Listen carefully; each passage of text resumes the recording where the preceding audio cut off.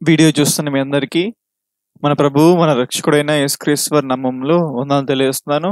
అయితే ఈరోజు మన యూట్యూబ్ ఛానల్లో మొదటి రికార్డింగ్ సెషన్ని స్టార్ట్ చేయబోతున్నాం. సో రికార్డింగ్స్ చేసి యూట్యూబ్లో పెడుతుండగా దేవుడి సహాయం మనకు ఉండాలని ప్రార్థన చేయండి. మీ అనుదైన ప్రార్థనలు జ్ఞాపకం చేసుకోండి అలాగే వారానికి ఒక వీడియో ఖచ్చితంగా అప్లోడ్ చేయడానికి దేవుడి సహాయం మనకు ఉండాలి కాబట్టి మీ ప్రార్థనలు ఖచ్చితంగా దీని గురించి జ్ఞాపకం చేసుకోండి. అలాగే వీడియో స్టార్ట్ చేసుకుందాం. ప్రేయర్ చేసుకుందాం. మిమ్మల్ని ఇట్లా ప్రేమించిన పర్లోకి తండ్రి తండ్రి నేను తండ్రి అని పిలిచి గొప్ప భాగ్యం ప్రసాదించేవు తండ్రి నీకే కృతజ్ఞత తెలియస్తున్నాను తన అయినా నువ్వు పోతున్న కష్టం తండ్రి నీ పిల్లలు రసించిపోతున్న కష్టం తండ్రి. ఈ భూమి మీద ప్రకటించే బాధ్యత మాకు అప్పగైపోయావు తండ్రి తండ్రి. నువ్వు ఇచ్చిన పని నేను పూర్తి చేసి మళ్ళీ ఏసుక్రీస్తు వెళ్ళాక నీ ఎదుగు తిరిగి రావాలని మహా మహా సంకల్పం తండ్రి. నాకు తండ్రి. తండ్రి ఈ సంకల్పాన్ని దీవించండి తండ్రి. ఈ సంకల్పం కోసం సహాయం చేయండి తండ్రి. నేను నేను పొడుతున్న ప్రయాసం జ్ఞాపకం చేసుకుని తండ్రి. ప్రతి తండ్రి నీ నామానికి ఘనంగా తిరిగించడం సహాయం చేయండి నా సొంత ప్రయోజనం కాదు తండ్రి. నా సొంతగా ఉపయోగం కాదు తండ్రి. తండ్రి నా మాటలు నా నా మాటలు నా సొంత మాటలు కాదు తండ్రి. నా ద్వారా మీరు మాట్లాడమని తండ్రి. ప్రతి నా నోటి నుంచి ప్రతి మాట తండ్రి వాడుకుని తండ్రి. వాటి మీద పిల్లలు తండ్రి. ఏదోటి నేర్చుకొని వీడియో చూసిన ప్రతి బిడ్డల తండ్రి ఏదోటి నేర్చుకొని కొత్త విషయం నేర్చుకొని ఇతరులకు చెప్పి వాళ్ళ జీవితంలో అలవరుచుకునే భాగ్యం ప్రసాదించమని వేడుకుంటూ చిన్న ప్రార్థన తండ్రి యేసుక్రీస్తు వారి శ్రేష్టమైన నామంలో అడి వేడుకుంటున్నాం తండ్రి. ఐ మీన్ అయితే ఈ మొదటి వీడియోలో మరి ఈ వీడియోస్ చేస్తుండగా మరి అరగారు పుస్తకాల్లో ఖచ్చితంగా ప్రతి అధ్యాయాన్ని వివరించాలని ఆ- ఆ ఒక థాట్ అనేది నాకు వచ్చింది. మమ్మీతో మాట్లాడాను. సరే చెయ్యి అని నాకు ఒక ధైర్యాన్ని చెప్పారు అనమాట అయితే దీని దీనికోసం రోజునే ప్రార్థిస్తున్నాను. కొన్ని రోజులు ప్రార్థిస్తున్నాను. అయితే దేవుడు మన కృప చూపించి ఈ మొదటి వీడియోలకి అవకాశం ఇచ్చాడు. సో మొదటి వీడియో స్టార్ట్ చేసుకుందాం. అయితే అయితే మొదటి వీడియోగా ఆదికాండాన్ని స్టార్ట్ చేయాలి. కానీ ఆదికాండం కంటే ముందు బైబిల్ అనువాద చరిత్ర. అంటే Bible translation history the history of Bible translation. దీని గురించి తెలుసుకుందాం. అసలు బైబిల్ అంటే ఏంటి? బైబిల్ అంటే ఏంటి అనగానే ఇక్కడ ఈ లోకంలో చాలా మంది బైబిల్ ఎలా వస్తారంటే ఒక చిన్న చిన్న విషయాలు వాళ్ళకి చదవడం అర్థం కాక బైబిల్ని తోపెడతారు అనమాట చిన్న చిన్న విషయాలు ఇది కూడా పెద్ద పెద్దగా ఉండవు. చిన్న చిన్న అక్షరాలు కానీ ట్రాన్స్లేషన్లలో వచ్చే లోపాలు వాటిని తీసుకొని బైబిల్ని తప్పు అనే మనుషులు మన మధ్య ఉండలేకపోయలేదు. చాలా మంది అంతే ఉంటారు. మత చంద సోదరులు అయితే ఇంకా రెచ్చిపోతారు ఇట్లా మీ బైబిల్ తప్పు ఇలా అంటా ఉంటారు. అయితే కొంతమంది క్రైస్తవులు బైబిల్ని ఎలా చూస్తారంటే రోజు పుడుకునే ముందు ఒక పుస్తకంగా అంటే పుడుకునే ముందు చదవాలి లేకపోతే లేవగానే చదవాలి తినంగానే చదవాలి తినే ముందు చదవాలి. ఆదివారం ఆదివారం మాత్రమే ఈ గ్రంథాన్ని ఓపెన్ చేయాలి. ఆదివారం బూజు దులపాలి దీంట్లో ఆదివారం సంఘాన్ని తీసుకెళ్ళాలి అక్కడ దీన్ని ఉపయోగించాలి అనే పుస్తకంగా దీన్ని వస్తారు. అసలు బైబుల్ని అలానే చూడాలా? ఇట్లా చూసే వాళ్ళందరూ బైబిల్ని ఎలా వచ్చిందో తెలియదండి వాళ్ళకి. ఇలాగా ఇలాగ చూసేవాళ్ళు. ఎందుకంటే బైబిల్ అనేది చాలా కష్టాలు కొడుకుంటూ వచ్చింది. కష్టాలు కొడుకుంటూ వచ్చిందా? అంటే అదేంటి? బైబిల్ కష్టాలు కొడుకొని ఏం లేదు బయట బుక్ స్టాల్లో కొన్నాం కష్టాల్లో ఏం లేదు ఐదు వందలు ఇచ్చాం బైబిల్ ఇచ్చారు అని మీరు అనుకుంటారు. కానీ బైబిల్ ట్రాన్స్లేషన్ చేయడానికి చాలా మంది తన ప్రాణాలను అప్పగించారు. బైబిల్ని రాయడానికి కూడా చాలా మంది దాని ప్రాణాలను అప్పగించారు. ఇలాగ చూసుకుంటే బైబిల్ అనేది ఊరకనే మనకి రాలేదు. మనకి ఊరకనే దొరికింది. కానీ ఇది రావడానికి చాలా ప్రయాసం ఉంది మరి ఇలాంతటి బైబిల్ని మరి ఇంత మనుషులు క్రైస్తవులు వాళ్ళు కూడా ఒక ఆదివార పుస్తకంగా లేకపోతే ఆరాధన క్రమంలో జరిగించే పుస్తకంగా దీన్ని చూస్తున్నారు. అసలు ఇంటికి వెళ్తే బైబిల్ చూపించారు అనమాట సరే ఇలాంటి వాళ్ళని మనం ఏం చెప్పాలంటే వాళ్ళకి ఏం చెప్పాలి? జస్ట్ లింక్ షేర్ చేయండి వాళ్ళకి. వాళ్ళు చూసి బైబిల్ ఎట్లా వచ్చింది అని తెలుసుకుంటారు. అయితే బైబిల్ యొక్క సాధించిన ఘనతలు బైబిల్ కొన్ని ఘనతలు సాధించిందండి. వాటి గురించి మాట్లాడుకుందాం. మొదటిది బైబిల్ అనేక భాషల్లో తర్జుమా చేయబడింది. బైబిల్ అనే పు- పుస్తకం ఓ- కేవలం ఇది ఒకటే. టాప్ ప్లేస్లో ఉండి నెంబర్ వన్ పుస్తకంగా అన్ని భాషల్లోకి ట్రాన్స్లేషన్ చేయబడిన నెంబర్ వన్ పుస్తకంగా బైబిల్ ఉంది. ఓకేనా?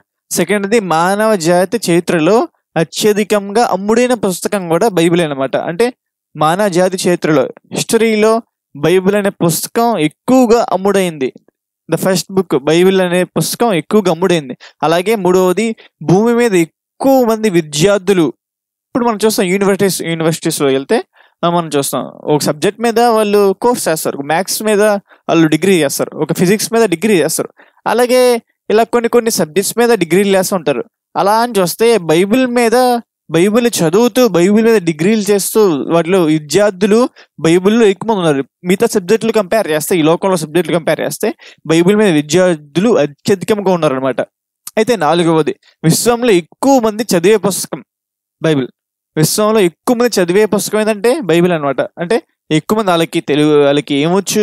వాళ్ళకి అర్థమైద్దా అర్థం కాదా అనే విషయం పక్కన పెడితే వాళ్ళు చదివే పుస్తకం ఎక్కువగా బైబిల్ అనమాట ఇటువంటి ప్రపంచం మొత్తం లెక్కేస్తాను మనలో అయితే ఇలా అయితే ఖచ్చితంగా ఉండరు. వాళ్ళు ఖచ్చితంగా ఆదివారం పుస్తకంగా అయితే గుర్తిస్తారు. ఎందుకంటే వాళ్ళు చాలా బిజీగా ఉంటారు వాళ్ళ సొంత పనులు.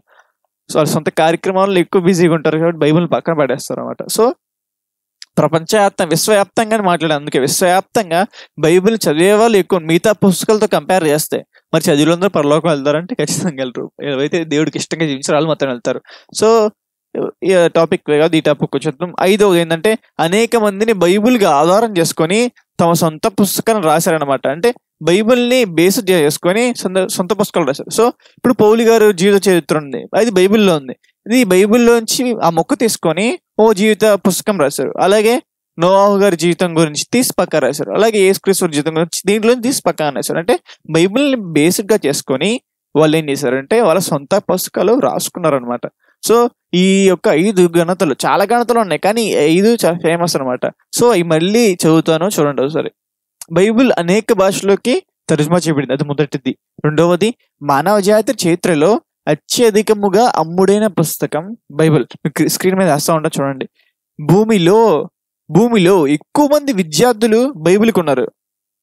భూమిలో ఎక్కువ మంది విద్యార్థులు బైబిల్కి మాత్రమే ఉన్నారు. మిగతా సబ్జెక్టులు కంపేర్ చేస్తే బైబిల్ ఎక్కువ మంది విద్యార్థులు ఉన్నారు. అలాగే విశ్వంలో ఎక్కువ మంది చదివే పుస్తకం వాళ్ళకి అర్థం అవుతుందో అర్థం కాదు అనే సంగతి పక్కన పెడితే ఎక్కువ మంది ఓపెన్ చేసి చదివే పుస్తకం ఏంటిదిరా అంటే బైబిల్ అనమాట సో ఐదవది చివరిది. అనేక మంది బైబిల్ని ఆధారంగా చేసుకొని తమ సొంత పుస్తకాలని రాశారు. అంటే ఈ యొక్క ఐదు ఘనతలు బైబిల్ సాధించారు అనమాట అలాగే కొంతమంది మత మీ ఈ బైబిల్ తప్పు అని మాట్లాడుతూ ఉంటారు. వాళ్ళు కొన్ని విషయాలు బాగా బేసిక్ చేసుకుని మాట్లాడతారు. ఏం విషయాలంటే మొదటిది ఏంటంటే క్రీస్తు శకం ఎనిమిదో శతాబ్దంలో లిపిని కనుగొన్నారు అని మాట్లాడుతూ ఉంటారు. అంటే క్రీస్తు పుట్టిన తర్వాత ఎనిమిదో శతాబ్దంలో లిపిని కనుగొన్నారు. అంటే ముందు రాసిన పాత నిబంధన మొత్తం చెల్లిద్దా? అంటే అది మీరు చల్లదు. ఎందుకంటే లిపి వచ్చింది. అంటే రాయడానికి అనుకూలం ఎప్పుడు వచ్చింది? అంటే క్రీస్తు శకం ఎనిమిదో శతాబ్దంలో వచ్చిందని మాట్లాడుతూ ఉంటారు. అంటే ఏంటి? ఇప్పుడు బైబిల్ మొత్తాన్ని తప్పు అనడానికి ఒక బేసిస్ చేసుకుని మాట్లాడుతున్నారు అనమాట ఈ యొక్క రీజన్ ఎనిమిదో శతాబ్దంలో లిపి వచ్చింది. మరి ముందు రాసినన్ని తప్పే. మీరే సొంతగా రాసుకున్నారు అని చెప్తా ఉంటారు. కానీ మరి తవ్వకాలలో బయటపడిన రాతి పలకలు కానీ మ్యూజియంలో దొరికిన రాతి పలకలు కానీ వాళ్ళందరూ నోరు మూవించాయి. ఎందుకంటే వాటిని పరిశీలన చేస్తే అవి ఏ కాలంలో రాయబడినాయంటే సుమారు క్రీస్తు పూర్వం కొన్ని వేల సంవత్సరాల క్రితం ఈ రాతి పలకలు అనేది రాయబడ్డాయి అనమాట అది మ్యూజియంలో పెట్టబడ్డాయి. అలాగే చాలా టెస్టులు కూడా ఇంకా జరుగుతున్నాయి అనమాట సో ఇలాంటి ఆధారాలు వాళ్ళ నోళ్ళని ఖచ్చితంగా మోహించాయి ఇలా మాట్లాడాలి. మత బైబుల్ ఎలాగైనా బురద జల్లాలి. బైబిల్ మీద తప్పుడుగా మాట్లాడాలి అని ఒక లక్ష్యం వేసుకొని మత ఛాందస్వాదులు అనమాట ఇలాంటి చెడ్డ ఉద్దేశం వాళ్ళ మనసులో పెట్టుకొని బైబిల్ చదువుతారు. ఇలా చెడ్డ ఉద్దేశం పెట్టుకొని బైబిల్ చదివితే అంటే తప్పు వెతకాలని బైబిల్ చదువుతారు ఖచ్చితంగా. ఎన్నో సవాళ్ళని ఎదుర్కొని ఎన్నో సామ్రాజ్యాలను దాటుకొని ఎన్నో సముద్రాలు దాటుకొని ఎన్నో మహాపర్వతాలను దాటుకొని ఈ బైబిల్ మన చేతిలోకి వచ్చింది. మరి ఇలా మన చేతిలోకి వచ్చిన బైబిల్ని మనం ఏం చేస్తున్నాం? మన్ని మనం ప్రశ్నించుకోవాలి. ఎందుకంటే చాలా కష్టపడి రాశారు. దాని గురించి ఇప్పుడు ఎక్స్ప్లెయిన్ చేస్తాను. ట్రాన్స్లేషన్ హిస్టరీని మీకు జాగ్రత్త వివరిస్తాను. సో ఈ వీడియోని చివరి వరకు చూడండి. నచ్చితే లైక్ చేయండి షేర్ చేయండి సబ్స్క్రైబ్ చేయండి అనమాట సో మొదటి మొదటిది పూర్వకాలం ముందు బైబిల్ని ఎలా రాశారు? ఇప్పుడు మతచంద సోదరు ఏం చెప్పారంటే ఎనిమిదో శతాబ్దం అప్పుడు లిపిని కనుగొన్నారు అని చెప్పారు. మరి వాళ్ళకి నోరు మూమించిన సిచ్యువేషన్ ఏంటంటే మరి ఈ రాతి పలకలు. ఈ రాతి పలకలు ఎప్పుడో క్రీస్తు పూర్వం కొన్ని వేల సంవత్సరాల క్రితం ఈ రాతి పలకలు ఉన్నాయన్నమాట. అంటే ఈ రాతి పలకలని అప్పుడు కాల ప్రజలు చెక్కి పెట్టారు. మరి పరిశీలన చేస్తే ఈ ఇంత టైం ఆఫ్ పీరియడ్లు రాతి పలకలు చెక్కారు అని బయటపడుతుంది సో మరి బైబిల్ కూడా రాతి పలక మీద రాశారా? రాతి పలకల మీద ఉన్నాయా? అంటే మనందరికి తెలిసిన ఫేమస్ ఏంటంటే మోషే గారిది. ఆ సిచ్యువేషన్ రాతి పలకల మీద మరి ఆజ్ఞలో దేవుడు మోషే గారికి అప్పగిస్తారు. అది చూద్దాం ఎక్కడ? ఆ నిర్గమకాండం ముప్పై నాలుగో అధ్యాయము. నిర్గమకాండము ముప్పై నాలుగో అధ్యాయము. ఒకటో వచ్చిన మరియు యహోవా మోషేతో మొదట పలకల వంటి మరి రెండు రాతి పలకలను చిక్కము. నువ్వు పలగొట్టిన మొదటి పలకల మీద వాక్యమును నేను ఈ పలక మీద రాసేదాను. అంటే మొదట మొదట ఫస్ట్ దేవుడే మోషేకి పలకలు ఇస్తాడు ఆ పలకలు కింద తీసుకెళ్ళి మరి ప్రజలు చేస్తున్న పాపాన్ని చూసి తట్టుకోలేక మరి వాటిని పలకొట్టేస్తున్నమాట కింద విసిరేసిన తర్వాత పలిగిపోతాయి. సో దేవుడు ఇక్కడ అంటే నువ్వు పలకొట్టిన పలకల వంటి మళ్ళీ చేసుకొని రా అని చెప్పి మోషేకి చెప్తున్నారు అంటే రాతి పలకలు అని పేరు చూసారా? మొదటి పలకల వంటి మరి రెండు రాతి పలకలను మళ్ళీ చేసుకొని తీసుకురావాలి. అలాగే మొదటి సిచ్యువేషన్ కూడా చూద్దాం. మొదటి పడకలు ఎక్కడ ఉన్నాయంటే మరి ఇరవై నాలుగో అధ్యాయంలో చూద్దాం. ఇరవై నాలుగో అధ్యాయము పన్నెండో అధ్యాయ- పన్నెండో వచ్చినాం అప్పుడు యహోవా మోషేతో ఇటనెను నీవు కొండ ఎక్కి నా యొద్దకు వచ్చి అచ్చట నడువుము అచ్చట రెండుము నీవు వారికి బోధించినట్లు నేను రాసిన ఆజ్ఞలను అంటే రాసిన ఆజ్ఞలను ధర్మశాస్త్రమును రాతి పలకలను నీకు ఇచ్చేదన అంటే రాతి పలకలను ఫస్ట్ సిచ్యువేషన్లో ఇక్కడ దేవుడు మోషకిస్తా అన్నారు. అంటే ఆ రెండు రెండు రాతి పలకలు ఎలా ఉన్నాయి టైప్ టైప్ అంటే ఆజ్ఞలు దేని మీద రాయబడ్డాయి? అంటే ఆజ్ఞలు మొదట దేని మీద రాయబడ్డాయి అంటే రాతి పలకలు అని మనకు ఖచ్చితంగా తెలుసు. అంటే బైబిల్ని రాయడానికి అంటే బైబిల్లో పెట్టబడడానికి ఉపయోగించిన వస్తువు. అంటే ఈ ఆజ్ఞలు బైబిల్ ఉన్నాయి కదా. ఇప్పుడు నిర్గమకాండం మొత్తం చూస్తే ఆజ్ఞలు ఉంటాయి. కాకపోతే ఆ రాతి పలకల మీద పది ఆజ్ఞలు మాత్రం ఇవ్వబడ్డాయి కానీ మిగతా మొత్తం మోషికర మైండ్ ఉన్నాయి. వాటిని పక్కగా వేరే పలకల మీద రాసి ఉండొచ్చు. కానీ ఈ రాతి పలకలని మొదటిసారికి బైబిల్లో మెన్షన్ చేస్తారు. అంటే రాతి పలకలు ఉపయోగించారు. మొదటి మొదటిగా ఇన్స్ట్రుమెంట్లు కావచ్చు మొదటి ఐటమ్ బైబిల్ రాయడానికి ఉపయోగించిన మొదటి ఐటమ్ ఏంటంటే రాతి పలకలు. అలాగే రెండోది ఏంటంటే చెక్క పలకలు. రాతి పల చెక్క పలకలు కూడా చెక్క పలకల గురించి కూడా బైబిల్లో రాయబడింది. అది ఎక్కడ రాయబడింది అంటే మరి యెషయా గారి ద్వారా చెక్క పలకల గురించి దేవుడు మాట్లాడుతూ ఉంటారు. అది ఎక్కడంటే యెషయా గ్రంథము ముప్పై అధ్యాయము యెషయా గ్రంథము ముప్పై అధ్యాయము ఎనిమిదో వచ్చినము రాబో దినములలో చిరకాలమునకు నిత్యము సాక్ష్యముగా అనున్నట్లు నీవు వెళ్ళి వారి ఎదుట పలకల మీద దాన్ని రాసి అంటే పలకలు అనగానే మరి రాతి పలకలు అనకూడదు. రాతి పలకలు అంటే స్టోన్ టాబ్లెట్స్. మామూలు పలకలు అని ఉందనమాట ఇటు పలకలు అంటే ఖచ్చితంగా చెక్క పలకలు వస్తాయి ఇక్కడ. చెక్క పలకలు అని ఊహించుకోవాలి. అంటే నీవు వెళ్ళి వారి ఎదుట పలకల మీద దాన్ని రాసి గ్రంథములో లిఖింపము. అంటే వాడిని పలకల మీద రాసి గ్రంథంలో లిఖింపు అని యెషయా గారికి దేవుడు చెప్తున్నాడు. అంటే చెక్క పలకలను కూడా మరి బైబిల్లో రాయడానికి అంటే బైబిల్లో ఉపయోగించారనమాట అంటే బైబిల్ని రాయడానికి ఇప్పుడు బైబిల్ అంటే అరవై ఆరు పుస్తకాల అరవై ఆరు పుస్తకాలు అనమాట ఇప్పుడు బైబిల్ అని పేరు పెట్టుకున్నాం మనం. కానీ అప్పుడు బైబిల్ అని ఉండేది కదా. ఇట్లా ఇష్యగారి గ్రంథం రాయడానికి చెక్క పలకలు ఉపయోగించారు. మరి మోషే గారు ధర్మశాస్త్రం రాయడానికి రాతి పలకలు ఉపయోగించారు. ఆజ్ఞల్ని రాయడానికి రాతి పలకలు ఉపయోగించారని చెప్తా ఉంటారు. కానీ ఇప్పుడు ఉన్న బైబిల్ అని పేరు వాడతానంతే. అంటే బైబిల్ రాయడానికి మొదట చెక్క పలకలను సారీ మొదట రాతి పలకలను తర్వాత చెక్క పలకలను ఉపయోగించారు. అలాగే మూడవది ఏంటంటే ఈ బైబిల్ రాసలేదు కానీ మీకు హిస్టరీ నుంచి చెప్తాను. ఏంటంటే చెట్టు బెరడు ఉంటుంది ఒక చెట్టు బెరడు. ఆ చెట్టు బెరడుని తీసి దాన్ని రసం చేసి ఏం చేస్తారంటే మొత్తం పొరలా చేస్తారు.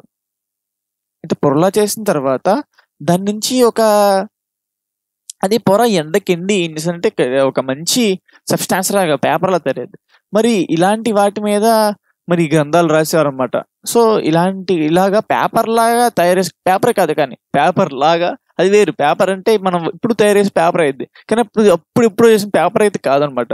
సో అది వేరు ఇది వేరు. అలాగే మూడోది ఏంటంటే ఇది చెక్క చెట్టు బెరడు నుంచి వచ్చే రసం నుంచి చెట్టు బెరడు నుంచి రసం నేస్తారు ఆ రసాన్ని మరి ఇట్లా పూరుస్తారు. ఆ రసాన్ని నుంచి గట్టిపడి ఒక పదార్థం వచ్చింది ఆ పదార్థాన్ని పేపర్ లాగా వాడేవారు కానీ పేపర్ అయితే కాదు. అలాగే నాలుగవది ఏంటంటే చర్మపు కాగితాలు. తిమోతి గారికి చెప్తూ ఏం చెప్తారంటే చర్మపు కాగితాలు తీసుకోనరా అని చెప్తా ఉంటారు అనమాట అంటే మొదటిగా రాతి పలకలు రెండోదిగా చెక్క పలకలు మూడోదిగా చెట్టు బెరడు నుంచి రసాన్ని తీసుకొని పేపర్లా చేసి అంటే ఆ పదార్థంలా చేసి ఆ పదార్థం మీద రాసేవాళ్ళు. నాలుగవది చర్మపు కాగితాలు ఐదవది ఏంటంటే పేపర్. మన ఇప్పుడు వాడుతుంది పేపర్ కదా. సో ఐదవది పేపర్. ఈ పేపర్ మీద రాయబడ్డాయి. పేపర్ మీద ముద్రించడానికి మొదటి వ్యక్తి ఎవరంటే జాన్ గుటెన్బర్గ్ జోనస్ గుటెన్బర్గ్. ఈయన వ్యక్తి పేపర్ మీద మొదటి ముద్రణ యంత్రాన్ని కనుగొని బైబిల్ని మొదటి మొదట పుస్తకంగా బైబిల్ని మాత్రమే గుర్తించి అంటే ముద్రణ యంత్రం కనుగొనిన తర్వాత తొలిసారికి ముద్రించిన పుస్తకం ఏంటిదంటే బైబిల్ అన్నమాట. సో ఈ బైబిల్ అనేది రకరకాలుగా మారుతా వచ్చింది. మొదట మొదట ఏంటంటే రాతి పలకల మీద వచ్చింది. తర్వాత చెక్క పలకల మీద వచ్చింది. తర్వాత చెట్టుబడి రసం నుంచి వచ్చింది. అలాగే మూడు నాలుగవది ఏంటంటే ఆ చర్మపు కాగితాల నుంచి వచ్చింది. అలాగే ఐదవది పేపర్లో వచ్చింది. మరి దీని గురించి పౌలు గారు చెప్తూ ఇలా మన అసలు వాక్యం ఎక్కడ ఉండాలి? రాతి పలకల్లో ఉండాలా? లేకపోతే సిరాతో రాసిన దాని మీద ఉండాలా? అని చెప్తూ పౌలు గారు కురిందీలు రాసిన రెండో పత్రికలో మాట్లాడుతూ ఉంటారు. కురిందీలు రాసిన రెండో పత్రిక మూడో అధ్యాయం మూడో వచ్చినములు ఏం చెప్తున్నారంటే రాతి పలకల మీద గాని అంటే రాతి పలకలు ఎక్కడ? మొదటిది కదా రాతి పలకల మీద గాని సిరాతో గాని రాయబడక. అంటే రాతి పలక మీద కానీ సీరాతో కానీ రాయబడక. మెత్తని హృదయమును పలకల మీద అంటే హృదయమును పలకల మీద జీవము గల దేవుని ఆత్మతో మీ పరిచర్య మూలముగా రాయబడేను. అంటే మనం ఇక వాక్యాన్ని ఎక్కడ రాసుకోవాలి? అంటే బైబిల్లో రాయబడిన పేపర్లో రాయబడ్డాయి. మరి పేపర్లో రాయబడిన విషయాలు మరి మన మనస్సులో రాయబడాలి అంటే మనస్సుకు ఎక్కాలి అంటే ఏం చేయాలంటే ఖచ్చితంగా దాన్ని ధ్యానించాలి. చదవకూడదు. అంటే బైబిల్ని read don't read Bible. Study the Bible. బైబిల్ని ధ్యానించండి. బైబిల్ని పరిశోధన చేయండి. పరిశోధాత్మకంగా చదివితే బైబిల్ అనేది అర్థమవుతుంది అనమాట మరి ఎలా పడితే అలా చదివితే? చెప్పిన మత చందాస్వాదులా చదువుతుంటే బైబిల్ అనేది ఖచ్చితంగా అర్థం కాదు. తప్పు వెతకాలి అని చదివే వాళ్ళకి ఎందుకు అర్థమైంది చెప్పండి? తప్పు వెతకాలని చదివే వాళ్ళు కొంతమంది అయితే కొంతమంది మారుతారు కూడా మారిన వాళ్ళు కూడా మనకి సాక్ష్యాలు చెప్తూ ఉంటారు. నేను తప్పు వెతకాలని బైబిల్ చదివాను కానీ బైబిల్ మార్చేస్తే నేను మాట్లాడుతూ ఉంటారు. మరి కొంతమంది తప్పు వెతకాలని చెప్పి తప్పు అని చూపిస్తా వాళ్ళ యూట్యూబ్ ఛానల్ పెట్టుకొని ఇంత టేబుల్ వేసుకొని కూర్చొని కెమెరా పెట్టుకొని మాట్లాడుతూ ఉంటారు అనమాట అలాగే బైబిల్కి బైబిల్ అనే పేరు ఎలా వచ్చింది? బైబిల్కి అదేంటి? బైబిల్ అనే పేరు మాకు తెలియదండి అని మరి ఆలోచిస్తున్నారు అసలు బైబిల్కి బైబిల్ అనే పేరు ఎలా వచ్చిందని మనం తెలుసుకుందాం.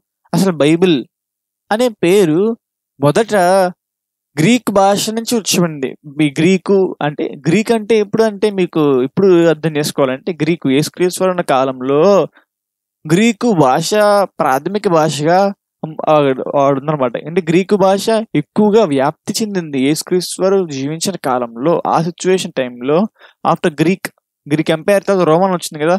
రోమన్ ఎంపైర్కి ముందు గ్రీక్ ఉంది. సో ఈ గ్రీక్ భాష ఎక్కువగా మరి అందుబాటులో ఉంది అని చెప్పుకోవచ్చు. అంటే ఇలాంటి గ్రీక్ భాషని బైబిల్లో నుంచి బైబిల్కి బైబిల్ అనే పేరు బైబిల్ అని పెట్టలేదండి. మొదట బైబిల్ అనే పేరు గ్రీక్ అని బిబ్లాస్ బిబ్లాస్ స్పెల్లింగ్ బిఐబిఎల్ఓఎస్ బిఐబిఎల్ఓఎస్ అనే భాష నుంచి ఈ బైబిల్ అనేది వచ్చింది. సరే గ్రీక్ నుంచి ట్రాన్స్లేట్ అయ్యి లాటిన్లోకి వచ్చింది. లాటిన్ లాటిన్లోకి ఎలా వచ్చిందంటే బిల్లా అని వచ్చింది. B I L L A Billa B I L L A మొదట గ్రీక్ నెక్స్ట్ లాటిన్.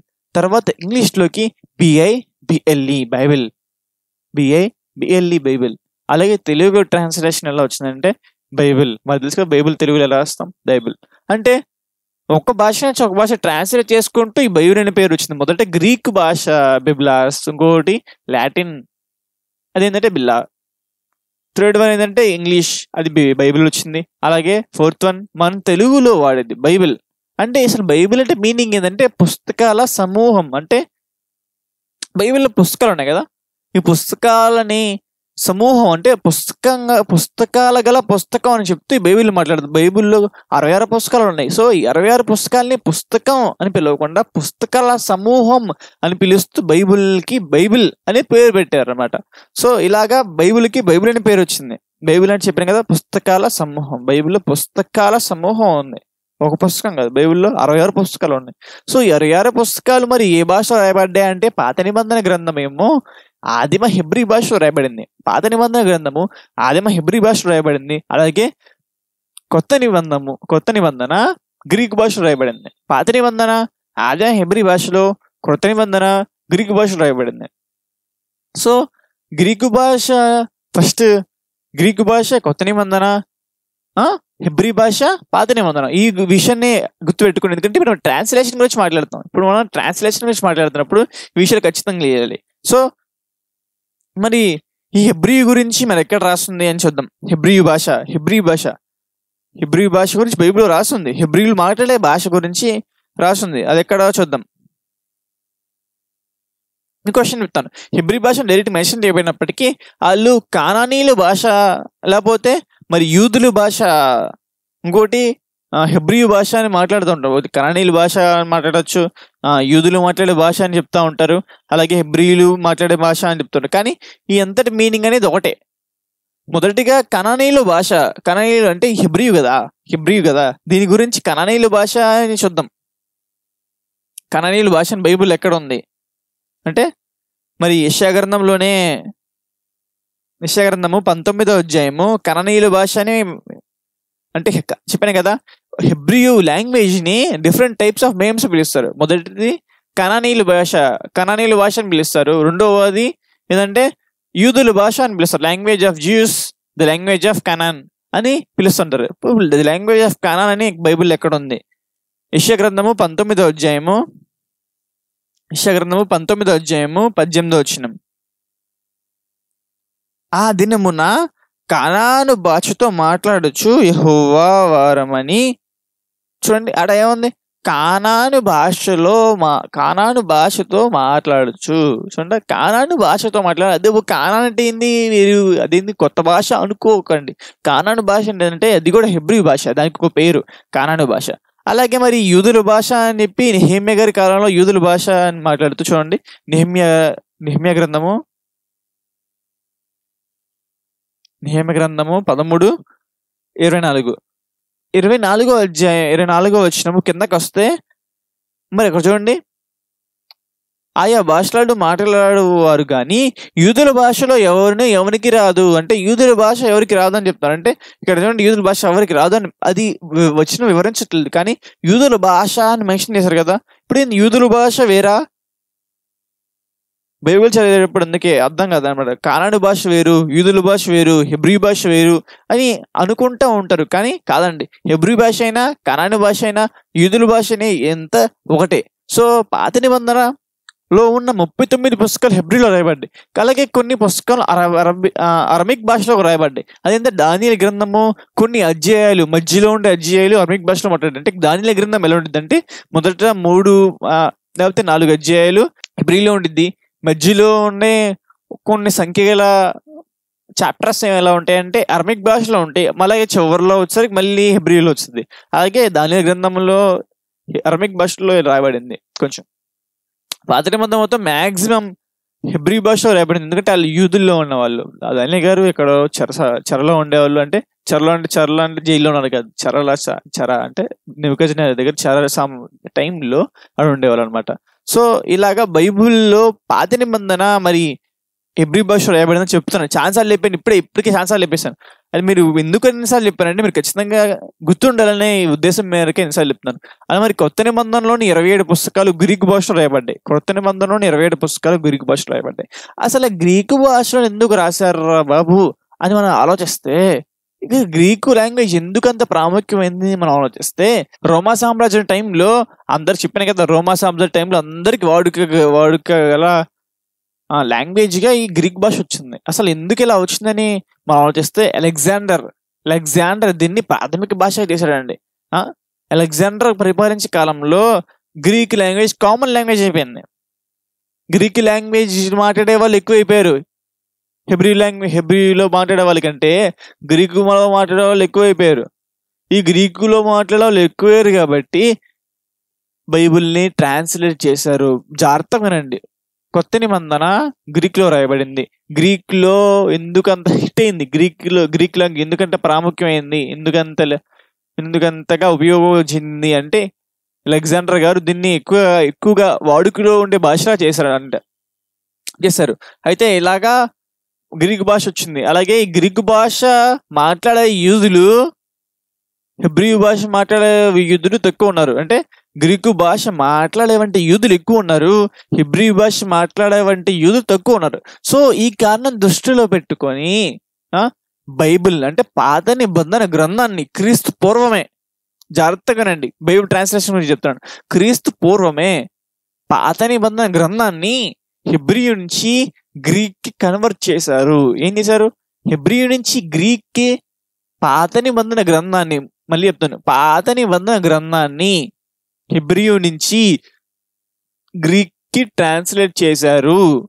ఎందుకు చేశారంటే హెబ్రియు మాట్లాడే యూదులు తక్కువ ఉన్నారు గ్రీకు భాష మాట్లాడే యూదులు ఎక్కువ ఉన్నారు. కాబట్టి ఈ ఉద్దేశం మీద బైబిల్ని ట్రాన్స్లేట్ చేశారు. మొదటి ట్రాన్స్లేషన్ దాని గురించి మనం డీటెయిల్ చేద్దాం. యూదులు అర- అలెగ్జాండియాలో ఉన్నారన్నమాట. యూదులు కొంతమంది యూదులు అలెగ్జాండియా ఉన్నారు. వాళ్ళు వాళ్ళు ఏం చేశారంటే పాత నిబంధన గ్రంథాన్ని గ్రీక్లోకి కన్వర్ట్ చేశారు. అలా గ్రీక్లో కన్వర్ట్ చేసిన దానికి సెవెంటీ మెంబర్స్ సహాయంతో చేశారు. అంటే సెవెంటీ మెంబర్స్ సహాయంతో గ్రీక్లో కన్వర్ట్ చేశారు. సో దీని పేరు సెప్టోజెంట్ అని పిలుస్తారు. ఏం పిలుస్తారు సెప్టోజెంట్ స్పెల్లింగ్ చెప్తాను చూడండి. ఎస్ఈపిటియుఏ జిఐఎన్టి సెప్టోజెంట్ అంటే సెవెంటీ మెంబర్స్ గ్రీక్లో సెప్టోజెంట్ అంటే సెవెంటీ సెవెంటీ మెంబర్స్ ద్వారా కన్వర్ట్ చేయబడింది అని మీనింగ్తో సెప్టోజెంట్ అని పిలుస్తారు. మొదటి ట్రాన్స్లేషన్ జాగ్రత్తగా వినండి. మొదటి ట్రాన్స్లేషన్ బైబిల్లో ఎప్పుడు జరిగిందంటే క్రీస్తు పూర్వం జరిగింది. అర్థమవుతుందా? క్రీస్తు పూర్వమే పాత నిబంధన గ్రంథాన్ని కొత్త నిబంధన కొత్త నిబంధన రాయబడక మునుపే పాత నిబంధన గ్రంథాన్ని ట్రాన్స్లేట్ చేశారు. ఎలా చేశారంటే? హెబ్రియూ నుంచి గ్రీక్కి ట్రాన్స్లేట్ చేశారు. అది ఎలా చేశారు అంటే సెవెంటీ మెంబర్స్ హెల్ప్తో ఎక్కడ చేశారు అంటే అలెగ్జాండియాలో ఈజిప్ట్లో ఉన్న అలెగ్జాండియాలో ఈ కార్యాన్ని జరిగించారు. అలాగే మరి దీని పేరు ఏమంటారు సెప్టోజెంట్ అని పిలుస్తారు. ఓకేనా?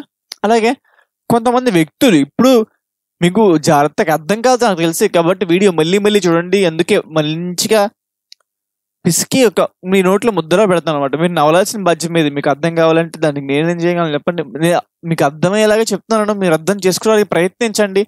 అర్థం కాకపోతే కింద కామెంట్స్ పెట్టండి. ఇక్కడ టెక్స్ట్ లైన్ పెడతాను మీకు అర్థమైద్దాము సో మొదటి ట్రాన్స్లేషన్ పాత నిబంధన గ్రంథం హిబ్రియూ నుంచి గ్రీక్కి సిప్రోజెంట్ అనే సెవెంటీ మెంబర్స్ సహాయంతో వచ్చింది.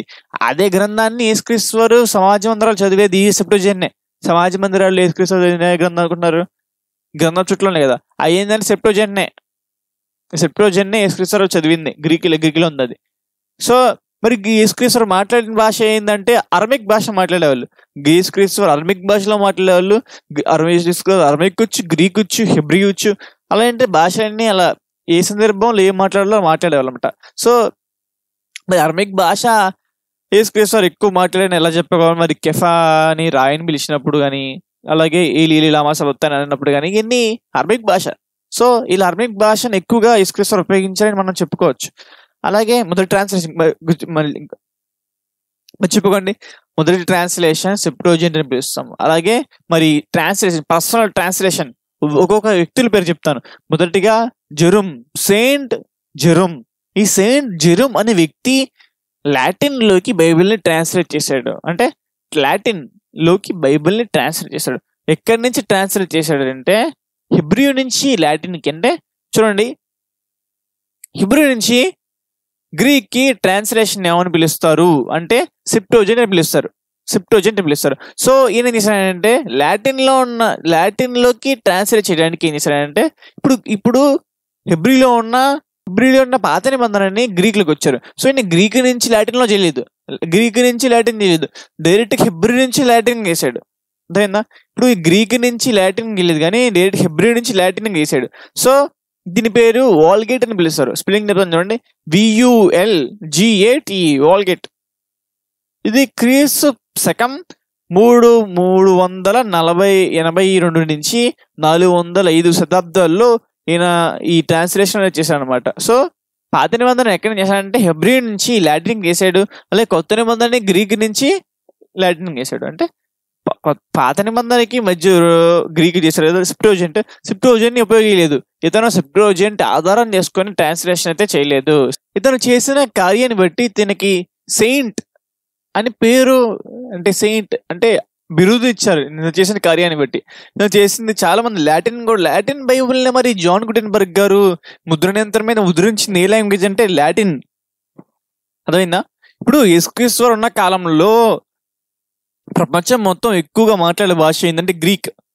తర్వాత ఈ సెయింట్ జిరూమ్ ఉన్న కాలంలో ఎక్కువగా మాట్లాడే భాష ఏంటంటే గ్రీక్ కాదండి. లాటిన్కి మారిపోయారు అందరూ. సో లాటిన్కి మారిపోయారు కాబట్టి గ్రీక్ భాష మాట్లాడడం కష్టంగా ఉండేది. సో ఇలా మరి ఇప్పుడు ఉన్న కాలంలో ప్రపంచం మొత్తం మాట్లాడేది ఏం భాష అంటే ఇంగ్లీష్. ఇంగ్లీష్ మాట్లాడతాం కదా? సో అలాగా పూర్వం లాటిన్ మాట్లాడేవాళ్ళు ప్రపంచం మొత్తం. దానికంటే ముందు గ్రీక్ మాట్లాడేవాళ్ళు.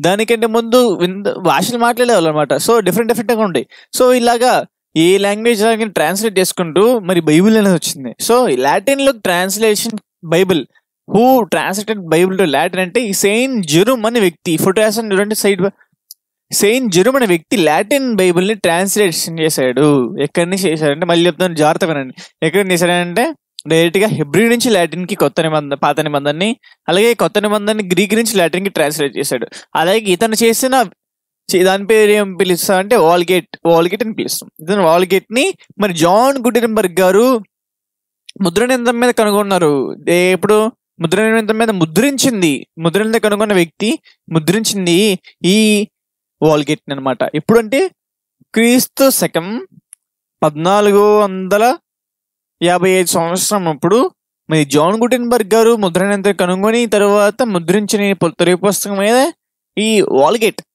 ఈ వాల్గేట్ అనే దాన్ని జాన్ గుటెన్బర్గ్ గారు అయితే సెకండ్ వన్ వచ్చేసరికి బైబిల్ ట్రాన్స్లేషన్లో ఉపయోగపడింది.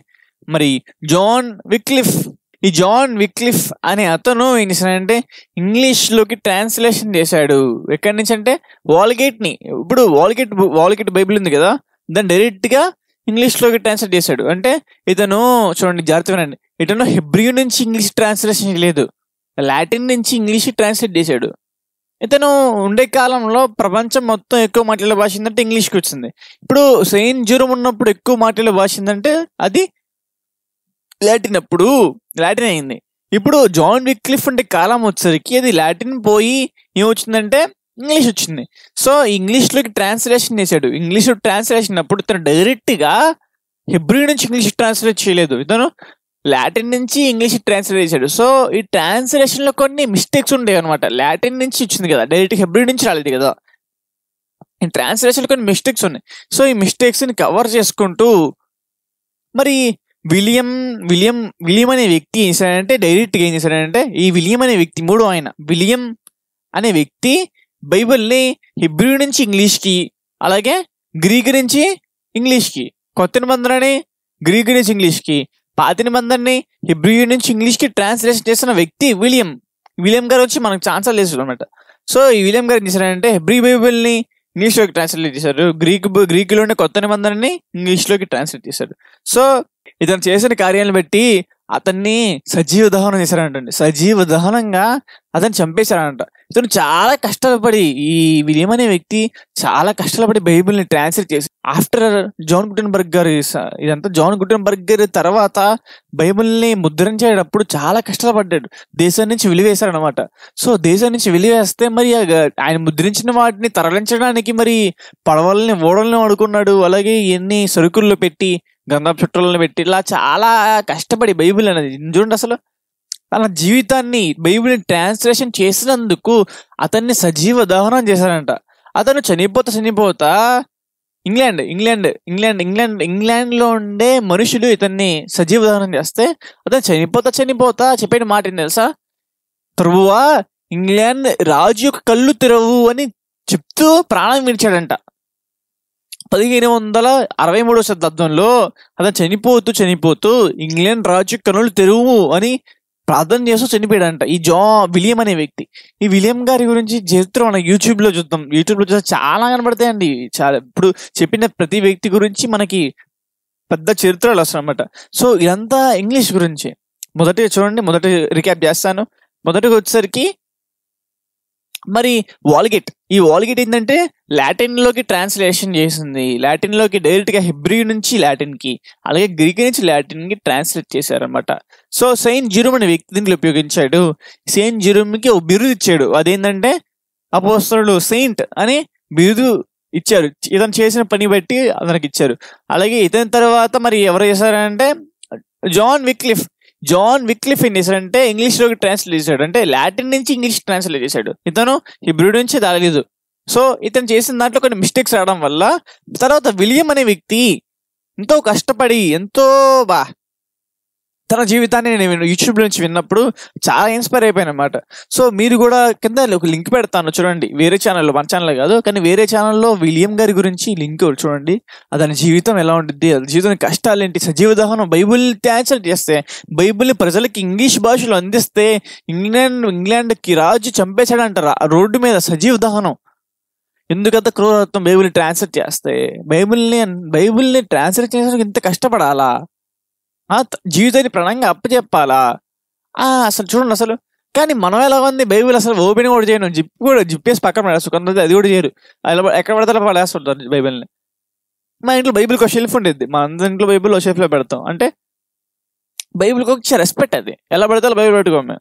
చాలా పద్ధతిగా బైబిల్ని చదవడం కానీ ఏ ఏ టైం పడితే ఆ టైంలో చదవడం మళ్ళీ. కొన్ని సమయాలు సమయాలు పాటిస్తూ బైబిల్ని చదువుతూ ఉన్నాం సో ఇలాగా బైబిల్కి వచ్చే రెస్పెక్ట్ అంటే ఎందుకు ఎందుకు ఇవ్వాలరా అంటే అది రావడానికి ఎంత కష్టపడబడ్డాం ఓ కొట్లోకి వెళ్ళి కొనుక్కోలేదు దాని గురించి. అది రావడానికి ఎంతో మంది ప్రాణాలు అప్పగించారు ప్రాణాలు కష్టపడ్డారు. దాన్ని రాయడానికి వీళ్ళు ట్రాన్స్లేట్ చేస్తున్నాడు ట్రాన్స్లేషన్ చేసిన పేర్లు చెప్తాను. మరి రాయడానికి ఎవరు ఎంతమంది అంటే సుమారు నలభై రెండు మంది బైబుల్ని ట్రాన్స్లేట్ వాళ్ళు ఎలా రాశారంటే పరిశుద్ధత ప్రేరేపణ వల్ల. వాళ్ళు ఎంత కష్టపడి రాశారు మరి. యోహాన్ గారు పద్మాం దేశంలో పరవాసైన ఎలా రాశారైనా అంత కష్టపడి ఆ చీకట్లో దీపం దీపం అంటే ఎలా ఉంటుంది చుట్టూ ఏమైనా ఉంటాయో? ఆ చీకట్లో ఓ దీపం పెట్టుకొని రాస్తావు రాస్తా ఉంటే ఎంత కష్టం? ఇంత కష్టాలు పడి బైబిల్ని రాస్తే చదవడానికి ఎవరికి ఇంట్రెస్ట్ అయినా ఉందండి. సో ఈ విలియం అనే వ్యక్తి సజీవ చే చేయబడ్డాడు బైబిల్ని ట్రాన్స్లేషన్ చేసేందుకు సో ఇది ఇంగ్లీష్. ఇప్పుడు మనం వాడుతున్న ఇంగ్లీష్ బైబిల్ కూడా విలియం గారు చేస్తుందని విలియం గారు ట్రాన్స్లేషన్ ఇప్పుడు ఇంగ్లీష్ బైబిల్లో వాడుతూ ఉంటారు. చాలా మందికి కానీ ఇంగ్లీష్ని చాలా మంది మార్చేశారండి. తన సొంతగా భాషలో మాట్లాడకుండా మార్చేశారు. కానీ విలియం గారు చేసిన బైబిల్ చాలా గొప్పదనమాట సో ఇది ఇంగ్లీ విలియం గారు చేసిన బైబిల్ని వాడండి. సో ఫోర్త్ వన్ వచ్చేసరికి మన ఇండియన్ ఇండియాకి వచ్చేసరికి విలియం కేరీ. మనందరూ తెలుసు విలియం కేరీ గురించి నుంచి అందరూ ప్రతి ఒక్కరు వినే ఉంటారు. సో విలియం కేరీ గారు ఏం చేశారంటే బైబిల్ని సాంస్క్రిట్కి కన్వర్ట్ చేశారు. కేవలం సాంస్క్రిట్ మాత్రమే కాదు. విలియం కేరీ గారు చాలా లాంగ్వేజ్లు కన్వర్ట్ చేశారు. కొన్ని లాంగ్వేజ్ చెప్తాను చూడండి. సాంస్క్రిట్లో కన్వర్ట్ చేశారు బెంగాలీ కన్వర్ట్ చేశారు ఒరియాలో కన్వర్ట్ చేశారు మరా- మరాఠీ కన్వర్ట్ చేశారు హిందీకి అస్సామీకి సుమారు ఇరవై తొమ్మిది భాషలు ఇండియాకి వచ్చి అతను ఇంగ్లాండ్ నుంచి ఇండియాకి వచ్చి సుమారు ఇరవై తొమ్మిది భాషలు కన్వర్ట్ చేశారు. ఇతను ఇతను కన్వర్ట్ చేస్తున్న టైంలో ట్రాన్స్లేషన్ చేస్తున్న టైంలో అతని కుమారుడు అతని కుమారుడు చనిపోయాడండి. అతని అతని భార్య పిచ్చిదైపోయింది. అలాగే తాను చేస్తున్న పని ఇతనంటే కళ్ళ ముందు కాలిపోయింది. మూడు రోజులు కళ్ళ ముందు తనకు ట్రాన్స్లేషన్ చేసి అయిపోయింది. ట్రాన్స్లేషన్ అయిపోయింది. ఇంకా ప్రింటింగ్ ప్రెస్కి ఇవ్వాలి అనే టైంలో తను చేస్తున్న పని ఏమైందంటే మూడు రోజులు మూడు రోజులు టైం పీరియడ్ అంటే ఒక పేపర్ వెలిగిస్తే ఎంతసేపు కాలిద్ది? సుమారు కొన్ని సెకండ్స్ కాలిద్ది. లేకపోతే కొన్ని మినిట్స్ కాలిద్ది. కానీ ఇతను చేసే ట్రాన్స్లేషన్ కాలడానికి త్రీ డేస్ పట్టిందంట. అంటే మూడు రోజులు అవి కాలుతా ఉన్నాయి. భార్య పిచ్చిది అయిపోయింది కుమారుడు చనిపోయాడు. ఇంత కష్టాలు పడి ఇంగ్లాండ్ నుంచి ఇండియాకి వచ్చి ఇతని కార్యాలు వేస్తే మరి దేవుడి సహాయం లేదండి అని అనుకోవచ్చు కదా. ఆయన తను వెనకడికి లేదండి. బైబిల్ ట్రాన్స్లేషన్ చేయడంలో తను వెనకడికి లేదనమాట. సో తను ఇండియాలోని కలకత్తాలో సెటిల్ అయిపోయారు. క్రీస్తు శకం పదిహేడు వందల తొంభై మూడో శతాబ్దంలో బైబిల్ని కంప్లీట్ చేశారు అనమాట సో ఇతను ట్రా- సాంస్క్రిట్లోకి ఎక్కువగా మనం మాట్లాడుకున్నాం సాంస్క్రిట్ కదా సాంస్క్రిట్ని బెంగాలీ సుమారు ఇరవై తొమ్మిది భాషల్లోకి ఈ విలియం కేరీ గారు విలియం కేరీ ఇండియాకి వచ్చి ట్రాన్స్లేషన్ చేశారు అనమాట సో ఐదవది వచ్చేసరికి బెంజమిన్ బెంజమిన్ గారు. ఈ బెంజమిన్ గారు ఏం చేశారంటే డైరెక్ట్గా హిబ్రూ పాత నిబంధన హిబ్రూ నుంచి తెలుగులో ట్రాన్స్లేషన్ చేశారు. అంటే చూడండి మన అబ్బాయి మన తెలుగు గురించి మాట్లాడుతాను ఈ బెంజమిన్ అనే వ్యక్తి ఏం చేశారంటే పాత నిబంధనని డైరెక్ట్గా హిబ్రూ నుంచి తెలుగులోకి ట్రాన్స్లేషన్ అలాగే కొత్త గ్రీక్ నుంచి మరి తెలుగు ట్రాన్స్లేషన్ మధ్యలో ఏం వాడలేదు లాటిన్ పెట్టలేదు ఇంగ్లీష్ పెట్టలేదు ఏం పెట్టలేదు. ఇప్పుడు మనం వాడేది ఈ బెంజ్మెన్ గారు వేసింది. ఏది? క్రీస్తు శకం పద్దెనిమిది వందల ఎనభై సంవత్సరంలో ఈ ట్రాన్స్లేషన్ చేశారు. ఎందుకంటే ఇదే మనం బైబిల్ వాడతాం. బైబిల్ మనం బైబిల్ ఓపెన్ చేస్తే బైబిల్ సొసైటీ ఆఫ్ ఇండియా అని. బైబిల్ సొసైటీ ఆఫ్ ఇండియా ఉందా? ఈ బైబిల్ సొసైటీ ఆఫ్ ఇండియా ఏం చేశారంటే ఈ బైబిల్ని ఈ బెంజమిన్ గారు చేసిన తెలుగు ట్రాన్స్లేషన్ మనం వాడతాం. ఇప్పుడు మనం వాడేది ఇదే. సో దీనిలో తప్పలేదు మాక్సిమం ఉండదు. ఎందుకంటే అందరు వాడేది ఒకటే కాబట్టి మనకి మిస్టేక్స్ ఉంటాయి కానీ ఇంగ్లీష్ వేబులు ఎవరు వేబులు వాడతారు ఎవరు సొంతంగా రాసుకున్నారు అనమాట సో ఇలాంటి భాషలో ట్రాన్స్లేషన్ అప్పుడు తప్పులు వచ్చాయి. కానీ తెలుగు బైబిల్లో కొన్ని కొన్ని ఉంటాయి. కానీ పెద్దగా కనపడు కానీ భాషలో ఉండే తప్పులు అనమాట ట్రాన్స్లేషన్ చేయడం చిన్న చిన్న తప్పులు. సో బైబిల్ చదివేటప్పుడు ట్రాన్స్లేషన్ మిస్టేక్స్ ఏంటి? భావం యొక్క మిస్టేక్స్ ఏంటి అని తెలుసుకోవాలి అనమాట అసలు భావం యొక్క మిస్టేక్స్ అస్సలు ఉండవు బైబిల్లో. ఎందుకంటే బైబిల్ అనేది మనుషుల చేతి వలన మనుషుల వల్ల కలగలేదు బైబిల్. ఒక ఊహను బట్టి లేఖనం కలగలేదు మొదట గ్రహించుకోవాలి. సో బైబిల్ అనేది పరిశుద్ధత ప్రేరేపణ వల్ల దేవుని ప్రేరేపణ వల్ల బైబిల్ అనేది కలిగింది. బైబిల్ని రాశారు. అలా రాసిలేషన్ రాసిన వాళ్ళు కూడా ట్రాన్స్లేషన్ చేసినప్పుడు పరిశుద్ధ ప్రేరేపణ ఖచ్చితంగా ఉంటుంది సో ఇలాగా చేయబడిన ట్రాన్స్లేషన్ని అలాగే మేము రాయడాన్ని మనం ఏం చేస్తున్నామండి? మీకు ప్రశ్న వేస్తున్నాడు. ఏం చేస్తున్నారు? మరి ఇంత కష్టపడి బైబిల్ వచ్చిందో మరి తెలుసుకుంటున్నాము వీడియోల ద్వారా తెలుసుకున్నాము మరి ఏం చేసాము ఈ రోజు నుంచి మనం ఏం చేసాం నా అసలు ఈ యూట్యూబ్లో ఈ విఎం గారి గురించి తర్వాత నా అసలు రక్తం మరిపోయినట్టు అయిపోయింది. ఏంట్రా? ఆయన సజీవ దహనం ఏందిరా అతను చేసిన కార్యాన్ని బట్టి ఇంగ్లీష్లోకి తెస్తే బైబిల్ని ఎక్కడో హిబ్రీ నుంచి ఇంగ్లీష్ తెస్తే ఎవరు హిబ్రీ ఎవరికి అర్థం అయింది అసలు. హిబ్రూ ఎప్పటి నుంచి ఉన్నది? ఆ ఇంగ్లీష్లో కానీ అందరూ ఉన్నది. అందరూ కూడా తెస్తే మరి చంపేయాలా? సజీవ దహనం చేయాలా? మరి ఎంత క్రూరంగా ఉండాలా? ఇంగ్లాండ్ ప్రభుత్వం అని సార్ మరిగిపోయింది నాకు. మరి మీకు ఏమైతే నాకైతే తెలియదు కానీ బైబిల్ అనేది మన చేతులకు రావడానికి చాలా కష్టాలు పడొచ్చింది సో ఈ బైబిల్ని చదువుదాం. ఈ రోజు నుంచి చదువుదాం. మీకు కింద లింక్ పెడతాను. ఆ లింక్ని ఓపెన్ చేసి మీరు డౌన్లోడ్ చేసుకోండి పీడిఎఫ్. అదేంటంటే మూడు నెలలలో బైబిల్ కంప్లీట్ చేయడం. ప్రాసెస్. మూడు నెలలలో బైబిల్ కంప్లీట్ చేసే ప్రాసెస్. అది ఎలాగంటే రోజుకి వచ్చి పదిహేను అధ్యాయాలు. పొద్దున మీకు ప్రాసెస్ చెప్తాను. పొద్దున టిఫిన్ తినే ముందు ఐదు అధ్యాయాలు. అలాగే మధ్యాహ్నం అన్నం తినే ముందు ఐదు అధ్యాయాలు. నైట్ అన్ నైట్ డిన్నర్ చేసే ముందు ఐదు అధ్యాయాలు. ఇలా చదువుకుంటూ చదువుకుంటూ వెళ్ళిపోతే మూడు నెలల్లో బైబిల్ కంప్లీట్ అయిపోయింది అనమాట సో సంవత్సరానికి పన్నెండు నెలలు అయినప్పుడు మరి మూడు నెలలలో మన బైబిల్ చదివితే సుమారు ఒక సంవత్సరంలో నాలుగు సార్లు బైబిల్ చదవచ్చు. నాలుగు సార్లు ఒకే ఒక సంవత్సరంలో నాలుగు సార్లు బైబిల్ చదివి కంప్లీట్ చేయొచ్చు అనమాట మనం ప్రతిరోజు ఓపెన్ చేయాలి ప్రతిరోజు బైబిల్ చదవాలి బైబిల్తో రిలేషన్ చేయండి బైబిల్ చదివితే ఏమొచ్చింది? ఏమొచ్చింది చెప్పండి? కొంతమంది ఏం చేస్తారంటే బలంగా ప్రార్థన చేస్తారు బైబిల్ అసలు ఓపెన్ చేయరు. బలంగా ప్రార్థన చేస్తారు నీటి ప్రార్థన చేస్తారు బైబిల్ అసలు ముట్టనే ముట్టరు. అలాంటి వాళ్ళకి ఏం చెప్తారంటే మనం దేవుడితో మాట్లాడడం కంటే దేవుడు మనతో మాట్లాడడం చాలా ఉత్తమం. ఎందుకంటే మనం చేసే ప్రార్థనలు అన్నీ అడుక్కునేలా ఉంటాయి. దేవుడు పనిలో ఉపయోగపడే ప్రార్థనలా ఉండవు. అయినా నాకు అవి కావాలి నాకు రోగం తీసి అయినా ఈ కావాలా, ఇది ఇది ఇది ఇది అని కానీ దేవుని పని కోసం సహాయం చేయమని ఎవరైతే కనీసం ఎవరు అడగరు నాకు తెలుసు. ఎక్కువ మంది కొంతమంది మంచి వాళ్ళు అడుగుతూ ఉంటారు. దేవుడి పనులు సహాయం చేయని ఆయన అని చెప్పి. అలా చెప్పి అందరూ అడుగుతారంటే అందరూ అడగరు. సో వాళ్ళే అడుగుతారు. దేవుని అడుగుతూ ఉంటారు. ఏమడుతారు నాకు అలా సహాయం చేయి ఇలా సహాయం చేయి ఇలా సహాయం చేయి అలా సహాయం చేయి. కానీ దేవుడిని వాళ్ళతో మాట్లాడలేరు వీళ్ళే మాట్లాడుతూ ఉంటారు. ఓన్లీ సింగిల్ కాల్ చేసాం ఫ్రెండ్కి. ఫ్రెండ్కి ఫ్రెండ్ కాల్ చేస్తే మనమే మాట్లాడుతూ ఉంటే మరి ఎదుటి వాళ్ళకి ఎలా ఉంటుంది అదే మాట్లాడే ఛాన్స్ కూడా అయిపోతే సో ప్రార్థన ఎలాగైతే ఇంపార్టెంటో వాక్యం కూడా అంతే ఇంపార్టెంట్ అనమాట సో ప్రార్థన వాక్యం రెండు ఒకేలా ఉండాలి. కానీ మనం దేవుడితో మాట్లాడడం కంటే దేవుడు మనతో మాట్లాడే ఉత్తమం. ఎందుకంటే దేవుడు ఉన్న జ్ఞానం ఏ జ్ఞానం అది? ఆయన ఉన్న జ్ఞానం ఏంది? మనకున్న జ్ఞానం ఏంది? మన దేవుడు కానీ ఏంది అన్ని అడుగుతూనే ఉంటాం. సో ప్రార్థన చేయండి తప్పు లేదని చెప్పట్లేదు చేయకని చెప్పట్లేదు. కానీ దేవుడు మనతో మాట్లాడడం ముఖ్యం. ఎందుకంటే దేవుడు మనతో మాట్లాడే ప్రతిసారి బైబిల్ ద్వారా మాట్లాడతారు వాక్యం ద్వారా మాట్లాడతారు చాలా పద వేస్ ద్వారా మాట్లాడుతుంటారు. సో ఆయన మనకి మాట్లాడుతున్న ప్రతిసారి కూడా ఏదో ఒక మంచి విషయం మనకి తెలుస్తూ ఉంటుంది. జ్ఞానం తెలుస్తుంది బుద్ధి వచ్చింది పాపాన్ని చేయకుండా మనం తప్పించుకుంటున్నాం వాక్యాన్ని హృదయంలో పెట్టుకుంటే ఏమవుతుంది ఇప్పుడు పౌలు గారు ఏం చెప్పారు? వాక్యాన్ని మెత్తని హృదయపు పలకల మీద రాసుకోమని చెప్తున్నారు. అంటే రాతి పలకల మీద శ్రీరాతలో కాదు కానీ ఈ హృదయ పలకల మీద వాక్యాన్ని రాసుకొని పౌలు గారు చెప్తా ఉంటారు. సో ఇలాగా మనం వాక్యాన్ని ఒక బైబుల్కి పేవర్ పేపర్ మీద అంటీయకుండా లేకపోతే మన ఇంటి గోడలకి కానీ లేకపోతే చేతికి వాచ్లు వేసుకొని కానీ ఇట్లా బ్రాస్లెట్స్ మీద రాస్తారు వాక్యాలు రింగుల మీద రాస్తారు. కానీ ఇలాగే మాత్రమే అంటీకుండా డీపీలు పెడతారు డిపి ప్రొఫైల్ పెడుతుంటారు. వాల్పేపర్ పెడతారు. ఫోన్ పౌచ్లు వేస్తారు మరి డెస్క్టాప్ వాల్పేపర్లు పెడతారు. ఇట్లా వాక్యాల్ని హృదయంలోకి వెళ్ళే వాళ్ళకి వాక్యాన్ని హృదయంలోకి వెళ్ళు. కేవలం పైన వీళ్ళు క్రైస్తవులు అని తెలియదు క్రైస్తవులు ఇంటికి వెళ్ళామంటే క్రైస్తవులు ఎలా తెలిసింది అంటే చుట్టూరు వాక్యాలు ఉంటాయి. గోడలకు కానీ లేకపోతే ఫ్రేములకు కానీ వాక్యాలు ఉంటాయి. సో వీళ్ళు చాలా మంది హృదయంలోకి వాక్యం వెళ్ళలేరు. వాళ్ళ వాక్యం హృదయంలోకి వెళ్ళలేరు కానీ బై పైనే ఉంటాయి. ఇంటికి అండగా యహోవా అని దీవించు ఆటో ఆటో. మనం ఒక ఆటో చూసా. అందరు ఆటోలు రాసి ఖచ్చితంగా ప్రతి క్రైస్తవుడు యహోవాని ఆశీర్వించును ఇంకో ఆటోలో ఆయన రాకపోకలిందో యహోవాని కాపాడును ఉంటుంది. కానీ ఇతను చేసిన బతుకు ఎంత ఉంది మంచిది కాదు. ఇదే ఇది లోపలలోనే చేసేయండి ఎవరిదైతే తింటాడు ఏమైతే చెడ్డలో అట్లుంటాయి. కానీ హో అని కాపాడును ఏంటంటే బైబిల్ బైబిల్ వాక్యాన్ని తను అనుకూలంగా మార్చుకుంటున్నాడు. ఇలా చేయడం కరెక్ట్ అంటే చాలా కరెక్టే కాదు. కానీ దాని గురించి నేను ఎందుకు కానీ మంచిదే. వాక్యం పెట్టుకున్నాడు కదా. సర్లే. కానీ ఆ వాక్యం అక్కడ ఉంది. ఓకే. కానీ అదే వాక్యం మనకి హృదయంలోకి వెళ్ళాలి హృదయంలో ఉండాలి. ఎప్పుడైతే హృదయంలో లేదు మన పాపం చేయకుండా వాక్యం అనేది మనకి సరి చేస్తూ ఉంటుంది. మన పాపం అనేది ప్రతిసారి మన వాక్యం అనేది మన బ్రెయిన్లో వస్తుంది. ఇలా రాసుంది ఇలా చేయకూడదు ఇలా ఉంది ఇలా ఉంది ఇలా చేయకూడదు దొంగతనం చేస్తాను అనుకోండి. మరి ఆజ్ఞలో ఉంది నింది చేస్తున్నాం అని చెప్పి మన థాట్ వస్తుంది. సో మన హృదయంలో ఎప్పుడైతే వాక్యం ఉంటుందో మన పాపం చేయకుండా మనల్ని మనం కంట్రోల్ చేసుకుని వల్ల అవుతాం. సో ఎప్పుడు ఖచ్చితంగా వాక్యాన్ని నిర్లక్ష్యం చేయకండి. చెప్పాను కదా చాలా మంది ప్రార్థన ఎక్కువ చేస్తారు కానీ వాక్యాస్ బైబిలే ఓపెన్ అలాంటి వాళ్ళ కోసం అని చెప్తానంటే ఎలాగైతే మీరు ప్రార్థన చేస్తున్నారో ప్రార్థన ఆపని చెప్పట్లేదు కానీ ప్రార్థన చేయడం కంటే మీరు బైబిల్ చదవడం దేవుడు దేవుడు మీతో మాట్లాడడం చాలా గొప్ప విషయం. మీరు దేవుడితో మాట్లాడడం కంటే ఎందుకంటే మీరు మాట్లాడితే ఖచ్చితంగా ఏముంటాయంటే ఈ కావాలి ఈ కావాలి ఈ కావాలి ఈ కావాలి అంటారు.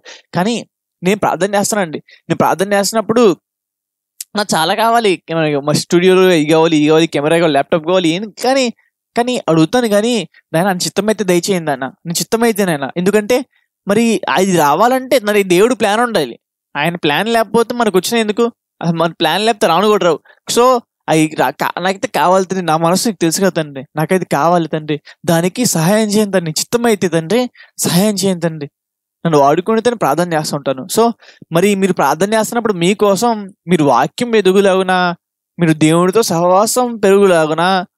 వాటి గురించి జ్ఞాపకం చేసుకోండి. మాకు ఐశ్వర్యాలు కావాలి అప్పులు తిరిగిపోవాలి వీటికంటే మరి మీరు దేవుడితో రిలేషన్షిప్ మెయింటైన్ చేయాలి దేవుడితో ఉండాలి దేవుడు నా లోకానికి వెళ్ళాలి దేవుడు పరలోకి మనకి ఇవ్వాలి. పాపం చేయకుండా సాతానిక శోధన ఎదుర్కొనడానికి వాక్యాన్ని చూడ ఏసుక్రీస్తులో కూడా సాతాను మూడు సార్లు శోధించింది.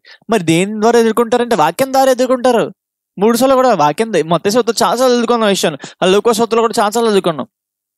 వాక్యం ద్వారానే మన పాపాన్ని లేకపోతే సాతాను శోధాన్ని ఎదుర్కొనగలం. సాతాను మన శోధేశ్వరం తెలిసినప్పుడు మనం మన వాక్యంతో ఎదుర్కొనాలి. యేసుక్రీశ్వరు మనకు మాదిరిగా చెప్పెళ్ళారు కదా. ఎలాగంటే వాక్యంతో ఆయన ఎదుర్కొన్నారు మనం కూడా వాక్యంతో ఎదుర్కోవాలి. అసలు వాక్యంతో ఎదుర్కోవాలంటే ముందు మన హృదయంలో వాక్యం ఉండాలి కదా.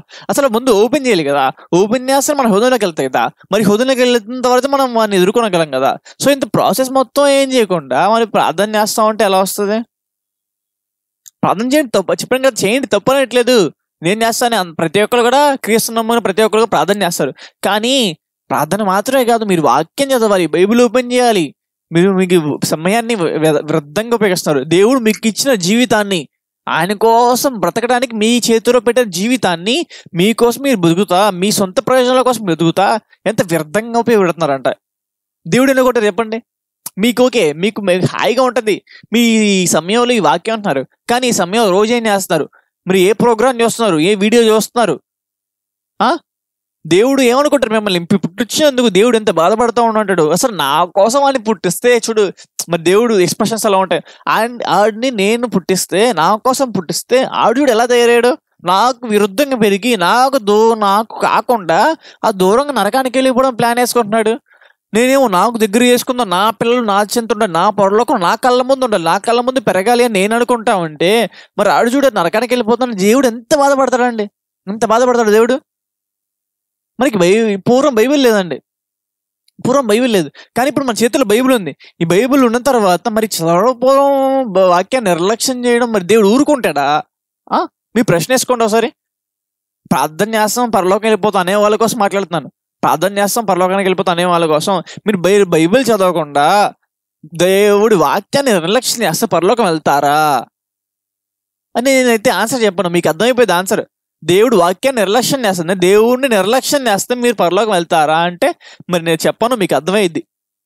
మీకు అర్థమైందని ఆలోచిస్తూ నా మాటలు నాకున్న వేదన మీరు కూడా తెలుసుకుంటారు ఆలోచిస్తూ ఈ క్షణం నుంచి ప్రతిరోజు బైబిల్ ఓపెన్ చేసి దేవుడిని ప్రేమని దేవుడి ఒక ప్రేమ లేకండి ఇది. ఒక ప్రేమ లేక లవ్ లెటర్ దేవుడు మన చేతుల్లో పెట్టాడు. ఇంత కష్టపడి మరి బైబిల్ ట్రాన్స్లేట్ చేసి మరి దేవుడు కూడా ఎంత ప్లాన్ వేసి మరి చేతిలో పెడితే చదవడానికి నిర్లక్ష్యం. ఇంట్లో ఉంటాయి క్రైస్తవులు అందరి ఇంట్లో బైబిల్ ఉంటాయి. ఖచ్చితంగా ఖచ్చితంగా అందరికి ఒక ప్రశ్నలు బైబిల్ ఉంటుంది కానీ చదవరు ఎందుకంటే నిర్లక్ష్యం. నిర్లక్ష్యం. కొంతమంది బిజీ నిజంగా బిజీగా ఉంటారు. ఆ బిజీగా ఉండే వాళ్ళు కూడా చదవడానికి ప్రయత్నించండి. ఎందుకంటే నేను కాలేజీకి వెళ్ళే టైమ్స్లో ఒక ఆంటీ గారు ఏం చేశారంటే ఫోన్లో బైబిల్ చదివేవాళ్ళు.